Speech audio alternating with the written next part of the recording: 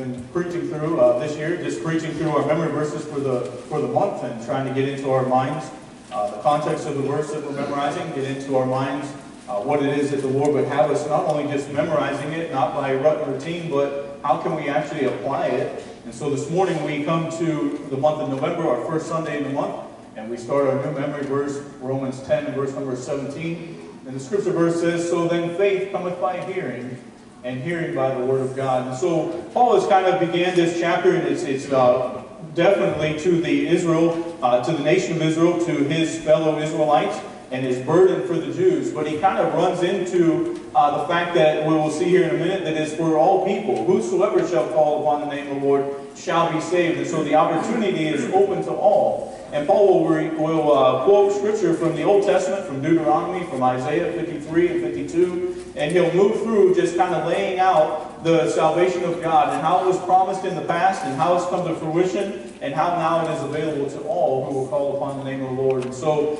uh, this morning we want to look at faith that comes from hearing, and we want to look at not only at our responsibility for hearing it, but then our responsibility for taking it to the world around us. And both are done by faith. And I believe we'll see that this morning from this passage. So let's pray and ask God to help us as we begin.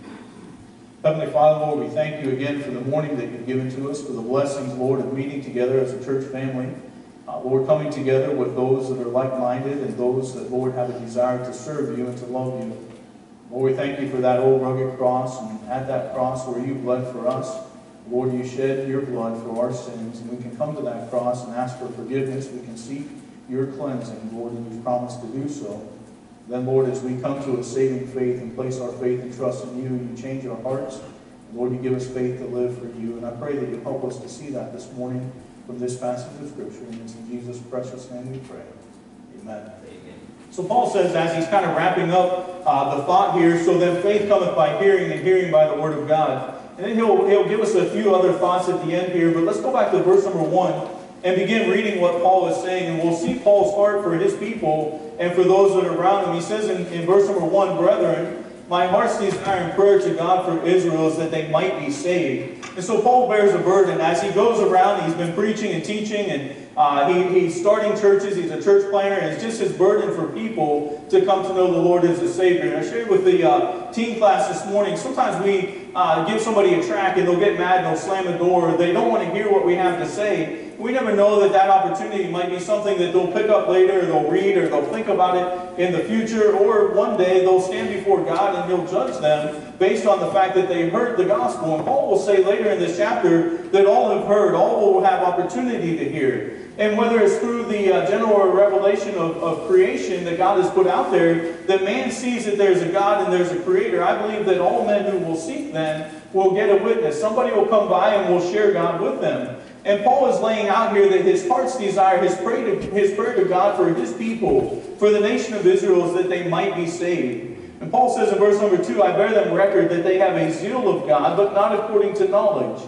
For they being ignorant of God's righteousness and going about to establish their own righteousness, have not submitted themselves unto the righteousness of God. And we've got a nation full of people that will be in church this morning. We've got multitudes of, of different congregations and different um, religions, they might go by the name. They've got different, uh, uh, ah, different uh, names that they'll call themselves, denominations and things like that. And so we have a zeal for God. We have a zeal to do what we think is right and to fulfill this emptiness within us.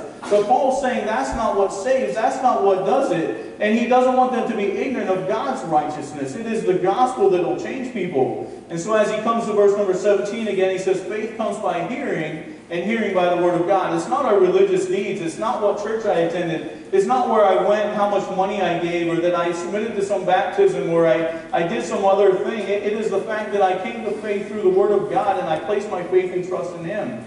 And so we'll see, starting in verse number 9, that faith is defined, or saving faith is defined. Paul says here that if thou shalt confess with thy mouth the Lord Jesus, and shalt believe in thine heart that God hath raised him from the dead, thou shalt be saved. And so Paul begins to lay out the, the requirement for saving faith. And so he defines it here as faith being the confession and belief that Jesus is who he says he is. And so as we look at verse number 9 and verse number 10, we'll see kind of four parts in there. And Paul starts with confessing with thy mouth the Lord Jesus. And so this confession is to agree with God in regard to who he is.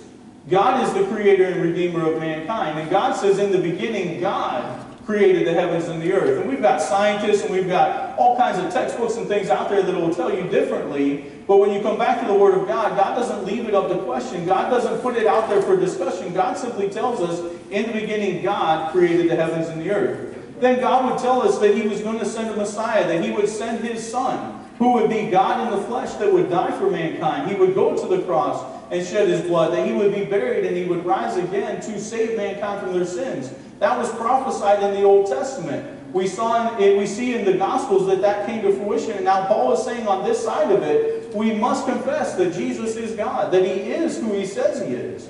And so we must come to agree with God in regard to who He is. We must also come to agree with God in, to, in regard to who we are. We are sinful people in need of a Savior. And that's the reason Jesus left heaven is to come to die for us.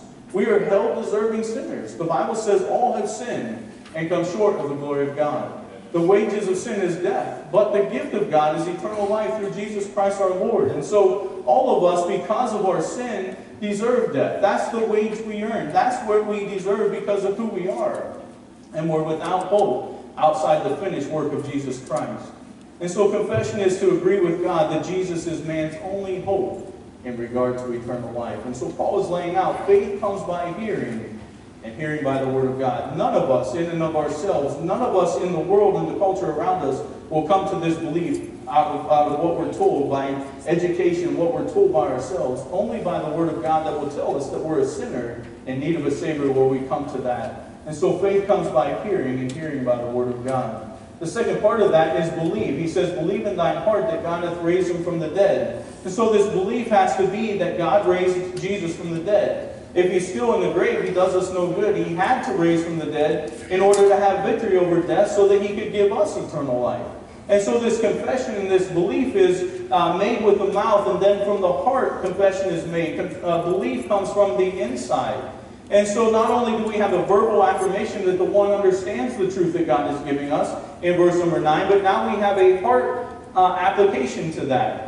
And so God raised him from the dead. It means that everything the Bible says about Jesus is true and that we uh, agree with that. And again, we have to come to the scriptures. We have to be taken through the scriptures to understand these things. And again, maybe we come through uh, Genesis, that in the beginning God created the heavens and the earth. And it's going to depend on what somebody might know or what their worldview is. Maybe they've never been taught about creation. They've only ever heard evolution. So we got to start at the beginning and take them through the scriptures so that they can come to know that Christ, that God, made the heavens and the earth, and that Jesus was there and he was interactive in that, and that the Holy Spirit played a part in it as he breathed out. And so we have to take them through the scriptures so that they can come to understand these things.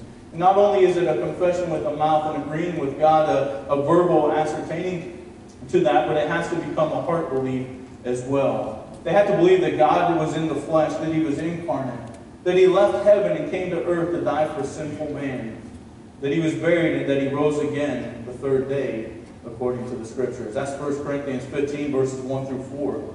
And he now lives and he's seated at the right hand of God the Father, waiting his return to rapture the church age believer.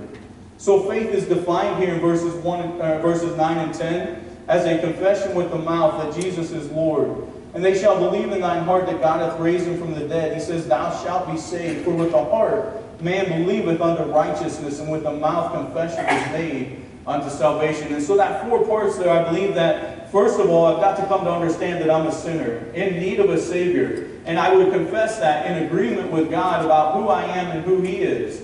And then in my heart, I begin to understand, I begin to believe out what I understand from the Scriptures. Faith comes by hearing, and so I place my faith in that my heart begins to change as I begin to understand who I am. My heart begins to change as I understand who God is and that He died for me. And my, my belief in that is, is that it is true and that if I'll ask Him, I'll be saved. Then he says, with the heart man believeth unto righteousness, and, and it becomes something from a head knowledge, an academic acknowledgement to a heart that I now believe it and it's beginning to change me. I, I, begin to understand that God did this and that He'll save me. And then I begin to confess again verse number 10 says, Confession is made unto salvation.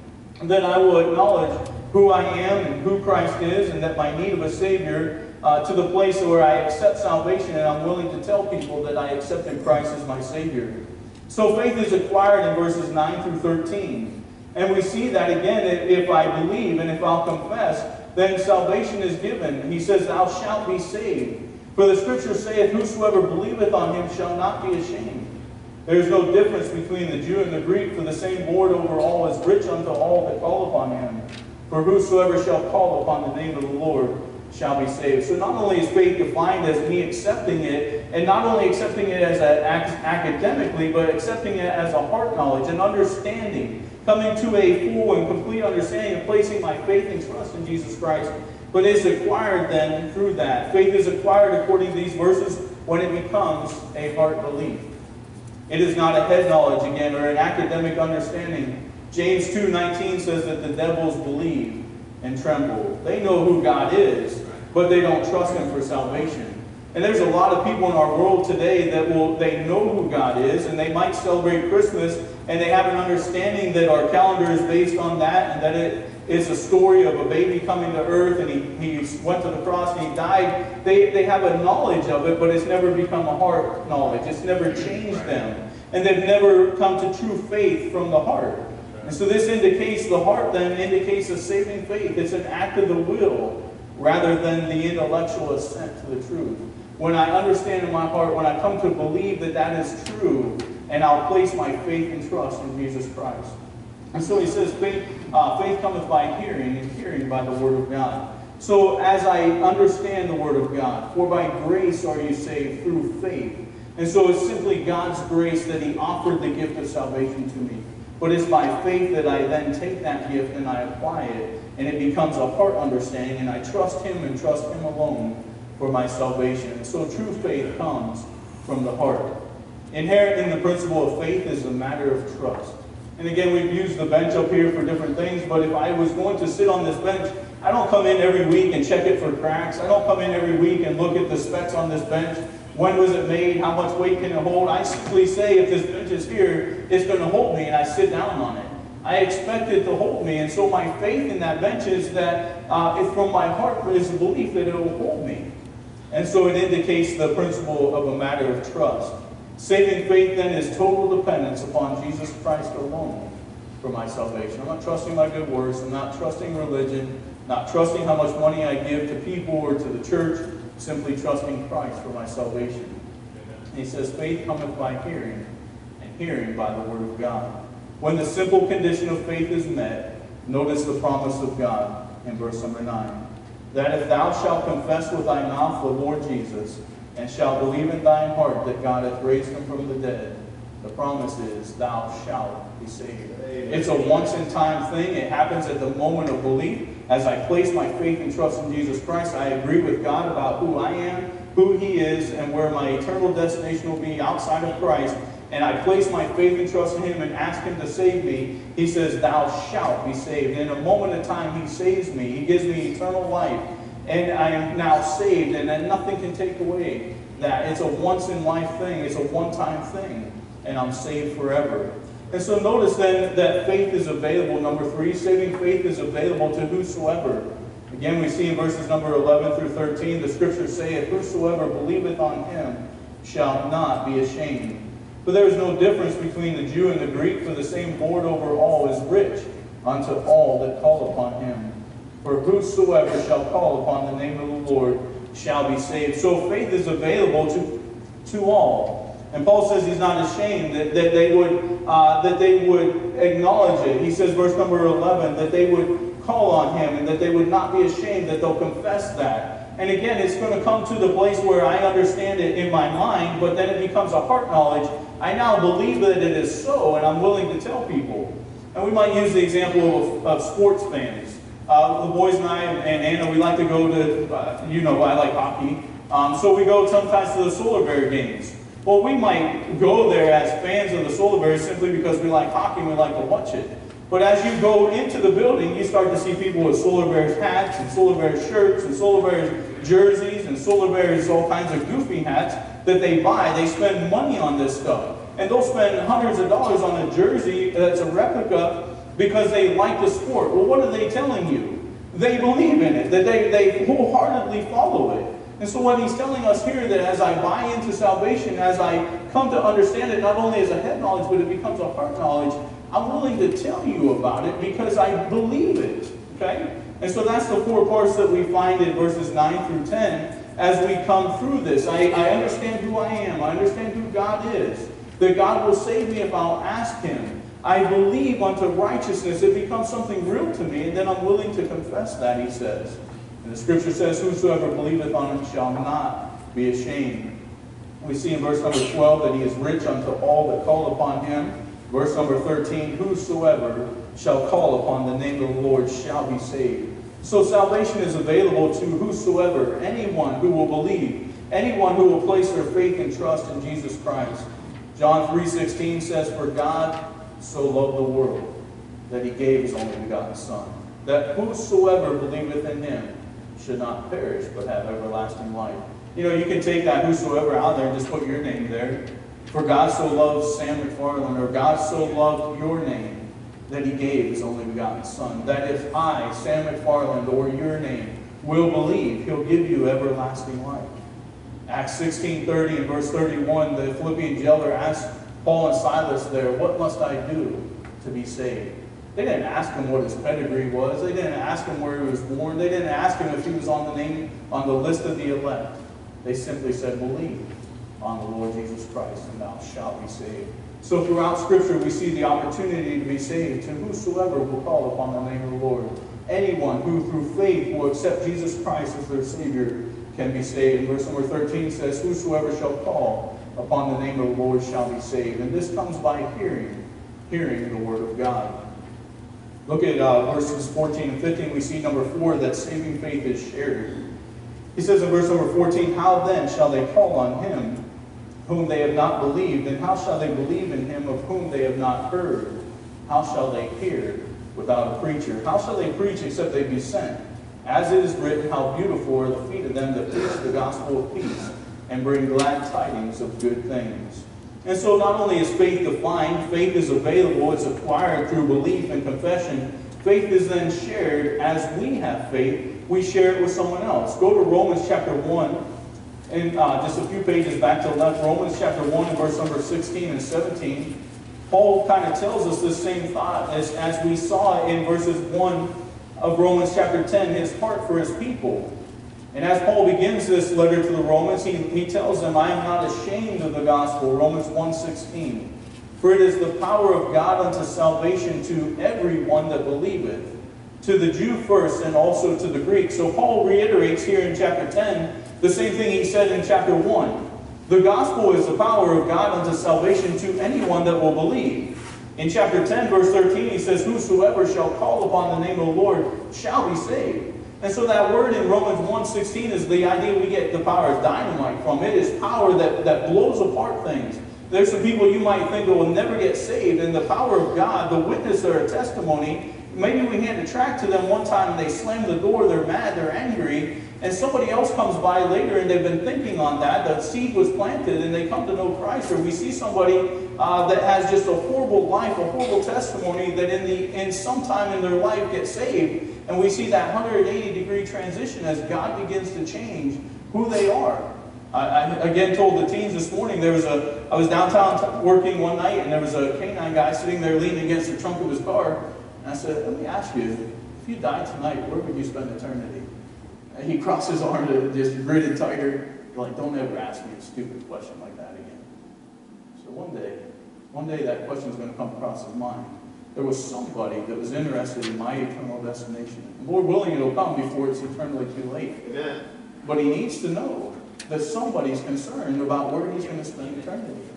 And so the Bible says it is the power of God unto salvation to anyone that will believe, anyone that will put their faith and trust in God.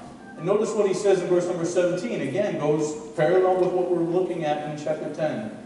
Romans 1.17, he says, For therein is the righteousness of God revealed, from faith to faith, as it is written, the just shall live by faith. And so I see, I believe we see the transition Paul is making in chapter 10, as he says, that how, how do we come to faith? It comes by a confession, it comes by belief, it comes by a heart understanding of who God is and placing our trust in Him. As I am saved and I begin to live for Christ and Christ begins to change my life, I now become a witness for Christ. I begin to tell others about Christ. And Paul says here in Romans 1.17, the righteousness of God is revealed from faith to faith. As I have faith, I have faith to be saved, but then I have faith to live. And as I begin to share my faith with others, it is faith to faith. And that is how they're going to come to know Christ as their Savior, through the Word of God. Faith cometh by hearing, and hearing by the Word of God. They're not going to get saved if you and I aren't willing to share our faith. And so this righteousness of Christ is revealed faith to faith by us being a witness and a testimony of what Christ has done for us. Go back to Romans chapter 10 now, and you'll see that. How shall they call on him in whom they have not believed? And so we must share the gospel. And he says it, it comes down to the end of verse number 14. How shall they call on him in whom they've not believed? How shall they believe in him in whom they've not heard? How shall they hear without a preacher? And we see that word preacher and we think of, of Sam behind the pulpit, or we think of some pastor that we know, or maybe the pastor that preached the day we got saved. But a preacher is simply anybody that's willing to proclaim the gospel. The sense of the word here is somebody that will take it and share it. And we come to uh, verse number 15. He says, How shall they preach except they be sent? We won't turn there, but Mark chapter 16 and verse 17 says, Go ye into all the world and preach the gospel. Well, if he says, Go ye, and you say, Who, me? Yeah, you. You and you and you and me. We are to go into all the world and to preach the gospel to every creature. Well, I'm not probably going to leave the United States, but I can send a missionary that'll go. But no missionary that is to, let's say, China or Taiwan is going to be able to reach people in Ocoee, but I can go. And so we all play a part in that, both by going to our community and to those around us, maybe people we work with, and sending missionaries to the far outreaches of the world. And so we must do our part in that. Matthew 28, 18 through 20 again tells us to go and to teach all nations. And so this idea of preaching is that we teach, that we interact with people, and that we bring them as, as well as we can to a saving knowledge of Jesus Christ. Look at Acts chapter 19. Acts chapter 19, I just want to show you a couple verses here. Again, Paul's burden for people. Everywhere he went, he was found preaching the gospel. He was found in the synagogues, uh, disputing with people, persuading people according to the scriptures. Notice in Acts chapter 19, look at verse number 8. It says, Paul goes, he's here at Ephesus. He went into the synagogue and spake boldly for the space of three months, disputing and persuading the things concerning the kingdom of God. But when divers were hardened and believed not, but spake evil of that way before the multitude, he departed from them and separated the disciples, disputing daily in the school of one Tyrannus. And this continued by the space of two years, so that they all which dwelt in Asia heard the word of the Lord Jesus, both Jews and Greeks. So we just come, I want us to see there that no matter where Paul went, he was preaching the gospel. No matter where Paul went, he was interacting with people and he was sharing Christ with them. Some he disputed with, others he simply shared, some he preached to, others he had to convince. But Paul took the word of God and he invested in the lives of people. He went boldly, it says, for the space of three hours, uh, three months, disputing and persuading things concerning the kingdom of God. And so we are to take the gospel to all people. Some will be saved and some won't. Some will accept it and some will reject it. It's not my responsibility to save them. It is God's responsibility to save whosoever will. But God gave every one of us the opportunity to make a choice.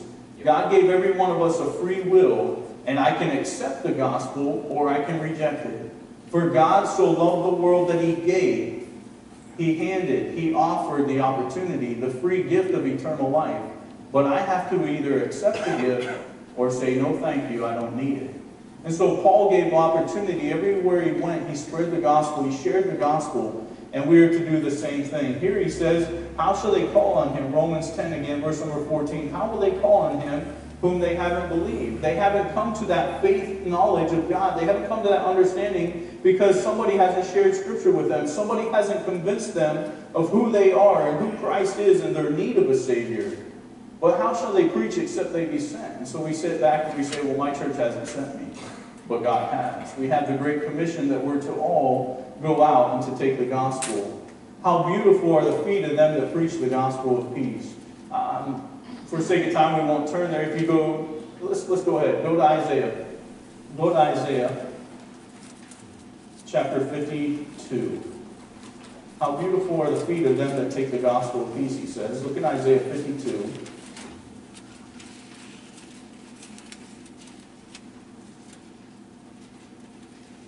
Isaiah 52 and verse number 7. The Bible says, How beautiful upon the mountains are the feet of him that bringeth good tidings, that publisheth peace, that bringeth good tidings of good, that publisheth salvation, that saith unto Zion, Thy God reigneth. And so in the Old Testament, we even have, not only do we have the promise of the Messiah coming, but we see that people are saved by faith, by placing their faith and trust in Jesus Christ uh, in God, in what God says in God's Word, knowing that the Messiah will come, that He's promised that He's going to die on the cross and save them from their sins. They may not have fully understood all of that, but through the sacrificial system, they were given a picture of that. It was a foreshadow of what was to come, and they simply had to take God at His Word. That if I'll put my faith in this, that God is going to send His Son, the Messiah, to die on the cross, then He'll save me. And so it says, How beautiful are the feet of them that bring good tidings, that publish peace, that bring good tidings of good, that publish salvation. But notice what uh, Isaiah laments in verse number 1 of chapter 53. Who hath believed our report? And to whom is the arm of the Lord revealed? So the gospel goes out, we preach it to all people, but only some will accept it. Some will reject it. And sometimes we get to the side of rejection and we just say, well, what's the use? What's the worth? And we want to fold our arms and come home and sit down in the pew. We don't want to partake in outreach. But Isaiah says, who's going to believe our report? But it's, that's not what our responsibility is. Our responsibility is to keep telling. It's their responsibility to hear and to respond. Notice in verse number 5 what Isaiah continues to say. Uh, look at verse number 4, Isaiah 53 4. Surely he hath borne our griefs and carried our sorrows. Yet we did esteem him stricken, smitten of God, and afflicted. But he was wounded for our transgressions, he was bruised for our iniquities. The chastisement of our peace was upon him, and with his stripes we are healed. All we like sheep have gone astray. We have turned every one to his own way, and the Lord hath laid on him the iniquity of us all. Go back to Romans chapter 10. Isaiah is simply proclaiming the gospel. He's proclaiming the Messiah would die. He would become that sacrificial, sac, uh, that sacrifice on our behalf. That he would die for you and I. He would take our sins and go to the cross for you and I. So faith is shared by those who are willing to proclaim it, to share it. The Christian who is willing to take the gospel message to others. And we should all be actively involved in witnessing to someone. The Bible calls this the good news. Again, we see the good news. Those, how beautiful are the feet of them that preach the gospel of peace and bring glad tidings of good things. Romans 10 says it, Isaiah 52 says it, and it is the good tidings. Remember the angel proclaiming in Luke chapter 2, Behold, I bring you good tidings of great joy, which shall be to all people. Behold, a Savior is born. Well, if I'm good in and of myself, if I can give to the church, if I can be religious and I can earn my way to heaven, I don't need a Savior. Only those who are in trouble, only those who need to be saved, need a Savior. And God says the good news is to all people, to who, whoever will call upon the name of the Lord. And He says, How beautiful are the feet of them, the goings of those that will take the gospel out God looks at it as a beautiful thing. As they go and spread the gospel, as they go and bear precious seed out into the world, God looks on it as a good thing. The good news is the saving grace of Jesus Christ. It is the gospel, the death, burial, and resurrection again of Jesus Christ according to the Scriptures, and by which you are saved if you believe.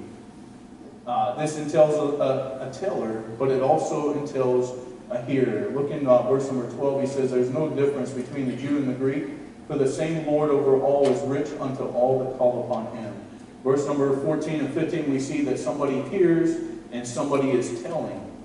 And so one is willing to share the gospel, one is given the opportunity to hear. And notice in verse number 16 then that faith is required. He says in verse number 16, But they have not all obeyed the gospel. For Isaiah saith, Lord, who hath believed our report? He's simply repeating or using Isaiah 53, saying, Look, not everybody's going to believe. Not everybody's going to hear our report and accept it with gladness. As we preach the gospel, as we preach the good tidings, Not everybody with joy is going to accept it. Some will reject it, some will turn it away. But does that take away my responsibility of telling? No. I simply tell as many people as I can. I offer it to as many people as I can. And those that will by faith receive it will be saved. Again, verse number 11, whosoever, or verse 13, whosoever shall call upon the name of the Lord shall be saved. Faith comes by hearing, and hearing by the word of God. So we see through these that God gave man a free will. Man must make the choice to believe or reject. Some may say that the Christian faith is based on too many unknowns. Uh, you hear from science that it is a crutch for those who are too weak-minded to accept science as the final authority. Look at Hebrews chapter 11 with me. Let's once again look at the Bible definition of faith here in Hebrews chapter 11. We'll begin wrapping up. Hebrews chapter 11, verse number 1. The Bible says or defines faith as the substance of things hoped for. Titus describes it as the blessed hope and the glorious appearing of our Lord and Savior Jesus Christ. And so the substance of things hoped for, the substance is something that is tangible. And so my faith is in the tangible uh, Word of God, in what God tells me that if I'll place my faith and trust in Him, that He'll save me. It's the evidence of things not seen, like the wind as it goes by. We don't know that the wind is out there. We might hear it rustling in the trees or we see the leaves moving. We might feel it on our face, but outside of that, we don't. When I breathe in, I don't, I don't know if the air is there, but I breathe in trusting that it's going to be there for me. And so the same thing, faith is the evidence of things seen. Also, faith is what allows us to obtain a good report. Verse number two, it says, provided the elders obtained a good report. Through faith, we understand that the worlds were framed by the word of God, so that things which are seen were not made of things which do appear.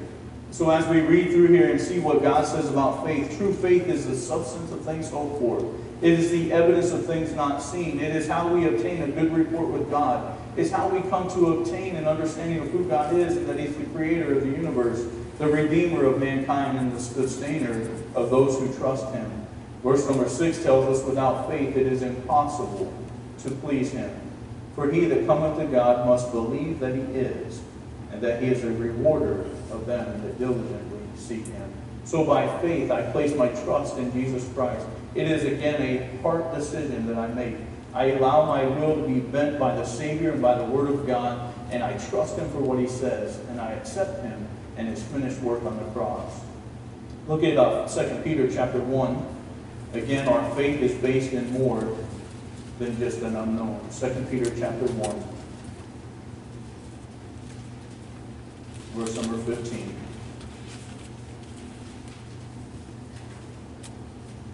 Second Peter chapter 1, verse number 15. The Bible says, Peter is speaking here, and he says, Moreover, I would endeavor that you may be able after my decease to have these things always in remembrance. And again, trying to hurry up, trying to wrap up for us. But I told the teens this morning, as Daniel goes into captivity, he's taken into captivity, he's separated away from his family. He's only got a few little friends there, and they're being brainwashed. Everything they know, how they eat, how they worship, their names, everything's being changed to try to brainwash them into the thinking of the Babylonians. But they had to stand in true in what they knew. And the only way I told our young people is that you're going to be able to do this in a world that is around us is by hiding God's word in your heart, by knowing what the scriptures say. And so Peter's saying the same thing. Moreover, why I endeavor that ye may be able after my decease to have these things always in remembrance. Peter says, I'm going to preach it to you, I'm going to preach it to you, I'm going to preach it to you. I'm going to keep you in the Word of God so that when I'm dead and gone, these things are stuck in your brains. And that's my hope is that we spend enough time in the Word of God and that we're investing in our young people by the preaching and teaching the Word of God that when you and I are dead and gone, they're still investing the Word of God into the future generations because they're solid in their beliefs. They're solid in their understandings. They know what it is that they believe and why they believe it. Verse number 16, Peter says, We have not followed cunningly devised fables, when we made known unto you the power and coming of our Lord Jesus Christ. But we were eyewitnesses of his majesty. For he received from God the Father honor and glory when there came such a voice to him from the excellent glory this is my beloved Son in whom I am well pleased. This is on the Mount of Transfiguration. Peter, James, and John observed that they were eyewitnesses that God says, This is my Son in whom I'm well pleased. This voice which came from heaven we heard when we were with him in the holy mount. We have also a more sure word of prophecy, whereunto ye do well that ye take heed, as unto a light that shineth in a dark place, until the day dawn and the dark and the day star arise in your hearts. Peter says, now we have the word of God, a more sure word. Peter says, I would, I would put more faith in the word of God than what I saw with my own eyes. I put more faith in the word of God than what I heard with my own ears. And I'm passing that on to you. When I'm dead and gone, I want you to understand that it is the word of God that your faith and trust needs to be in. He says, knowing this verse, no prophecy of the scriptures of any private interpretations. For the prophecy came not in the old time by the will of man, but holy men of God spake as they were moved by the Holy Ghost.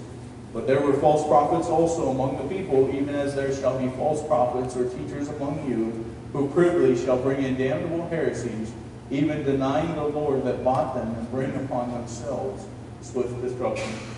Peter says, listen, I'm telling you the truth. I'm giving you the word of God. You need to base your faith and trust on that. There are going to be others that will come in and say all kinds of crazy things. They'll try to lead you astray. It is the work of the devil in the world that we live in. But you need to keep your faith and trust in Jesus Christ. Notice as he says there in verse number 19, a more sure word of prophecy, whereunto you do well that you take heed as unto a light that shineth in a dark place. John chapter 3 tells us what? Light came into the world, but men reject the light. Why? Because they're sinners and they don't want to be exposed for who they are. We want to wrap ourselves in a cloak and we want to be pious and we want to look good. But by pride, we're on our way to hell and we're afraid to admit it. God says, put it on. Allow the light to shine into your life. Allow the light of the gospel to search you. And by faith comes hearing. And hearing is by the word of God. Listen this morning. Faith is the result of hearing. Hearing is the result of someone telling. Telling is the result of obedience. Obedience is the result of faith. Faith is the result of hearing. It's a cycle. I'm saved because I heard the gospel. Because somebody was willing to tell. Because they were obedient to go and tell. And now it's my job. As I came to know Christ through faith, I now have got to be obedient to the, to the gospel and to tell others about that. Faith then is the result of hearing. As I hear that I'm to go and to tell, I then obey and I go and tell other people. And as we see people saved and we disciple them, they then ought to go. So we're saved by faith and we live by faith this morning. Let me ask you as we close, are you saved this morning? Have you come to a saving faith through hearing the Word of God? If not, we'd love to take the scriptures and show you how you can be saved according to the Bible. You have the choice then to make whether to accept it or reject it. Are you telling others about Jesus and what He's done for them? It's all about faith and obedience, living and telling. Let's pray.